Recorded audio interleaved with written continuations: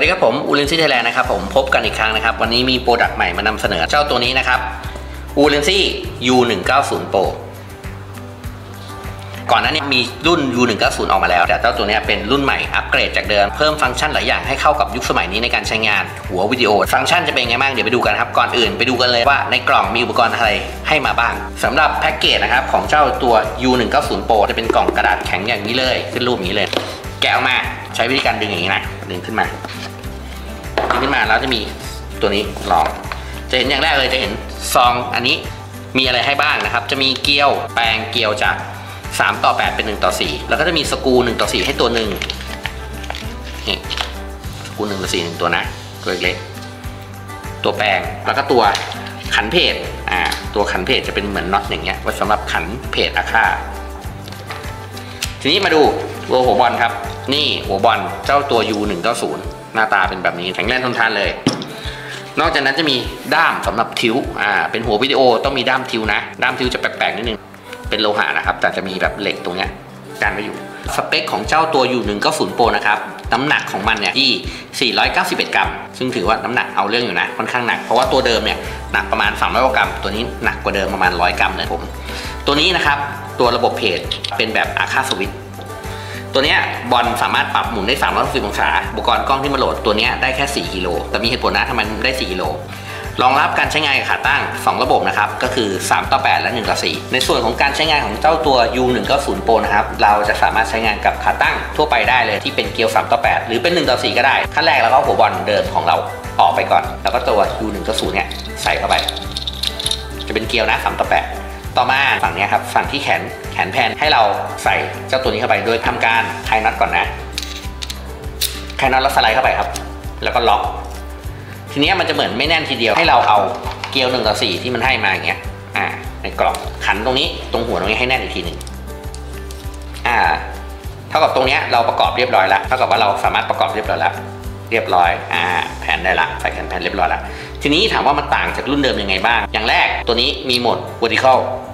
คือปรับเป็นแนวตั้งได้เลย แบบรวดเร็วเลย คืออันนี้แนวนอน เราต้องการใช้กล้องแนวตั้งเนี่ยโดยเลยหลักๆ ขาตั้งวิดีโอมันใช้แนวตั้งไม่ได้ เพราะว่ามันตั้งไม่ได้เอาไงไม่เหมือนของบอลตัวเนี้ยสามารถตั้งแนวตั้งได้อ่าแบบเราทำแบบรวดเร็วด้วยนะ ไม่ต้องทำอะไรมากกดตรงนี้ปุ๊บตั้งแนวตั้งได้เลย ส่วนตัวเพจจะเป็นแบบอาค่าอ่า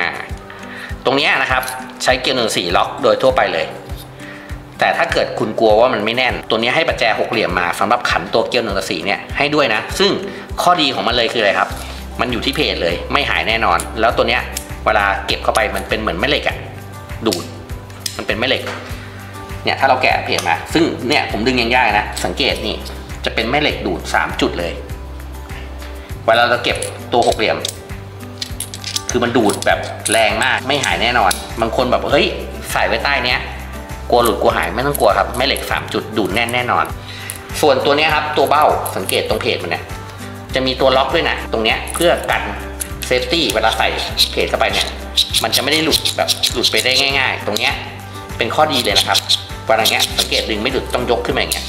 สไลด์ธรรมดาจะไม่ออกนะสไลด์อย่างเงี้ยมันจะไม่หลุดซึ่งสามารถช่วยการ safety ได้ ตรงนี้เป็นจุดเด่นเลย บางทีเราขันไม่แน่นมากเนี่ย ยังไงมันไม่หลุดอยู่ละ แต่อย่างที่บอกเวลาใช้แนวตั้งเวลาเราใส่ body กล้องเข้าไปเนี่ยหลายคนจะเจอปัญหาว่ามันจะหมุนพวกนี้ไม่ได้เลย พวกปุ่ม tilt ปุ่ม pan เนี่ยทาง Ulanzi คิดมาละ จะมีตรงนี้ให้เป็นฝลักเมื่อเราปลดฝลักตัวนี้ออกอะปลดฝลักตัวนี้ออกปุ๊บมันจะหมุน หมุนเพจตรงนี้ได้ เพื่อเวลาคุณหมุนใช้แนวตั้งเนี่ย คุณยังใช้ชิ้วกับแพนได้โดยที่ไม่ติดตัวบอดี้กล้องอ่าตรงเนี้ยถือว่าคิดมาดีนะแล้วสามารถล็อกได้ด้วย ตรงเนี้ยหมุนได้รอบเลย 360 คุณก็จะไม่เจอปัญหาว่าเฮ้ยหมุนไปแล้วติดบอดี้กล้องอะไรเงี้ยคุณจะไม่เจอปัญหานั้นอ่าตรงนี้ถือว่าทำมาได้ดีต่อมาตัวแกนแพนก็เป็นโลหะ ตัวเนี้ยเป็นหัวแบบน้ำมันนะก็มีการระบบตั้งหนืดได้ตั้งอะไรได้ ซึ่งถือว่าโอเคนะ วัสดุแข็งแรง ตัวด้านล่างตัวแพนหมุนแพนตัวนี้ก็หมุนได้310องศา สามารถปรับความหนืดได้ นอกจากนี้มันก็จะมีระบบองศาข้างล่างบอกด้วย มีระบบระดับน้ำมาให้ด้วย สามารถดูได้ว่าระดับน้ำมันตรงหรือเปล่า ซึ่งขาวิโอส่วนใหญ่เนี่ยมันจะไม่เหมือนหัวบอล ปัญหาของมันคือบางทีเราไปเจอพื้นไม่เรียบเนี่ย มันจะตั้งระดับไม่ได้ เจ้าอูนซี่ U190 Pro คิดมาดักมีตรงนี้นี่ด้านล่างสุด สามารถชดเชยได้กรณีที่พื้นเราไม่เรียบ ตรงนี้ชดเชยได้ประมาณ 10 องศา ซึ่งถือว่าครบเลยสำหรับการใช้งานวิดีโอเนี่ยคุณตั้งระดับน้ำได้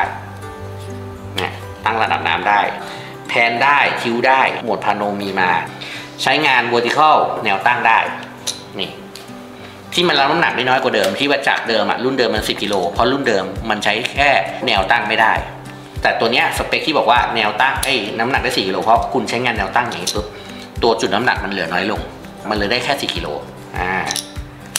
ประมาณนี้สเปค เดี๋ยวไปดูการใช้งานเบื้องต้นนะ ว่าใช้งานอะไรได้บ้าง ซึ่งจริงๆเนี่ยหัววิดีโอแบบนี้เดี๋ยวนี้ใช้กับอุปกรณ์หลายอย่าง ไม่ใช่แค่ขาตั้ง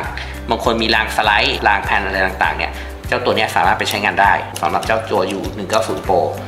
เดี๋ยวไปดูตัวอย่างการใช้งานนะครับ เบื้องต้นว่าเป็นไงบ้าง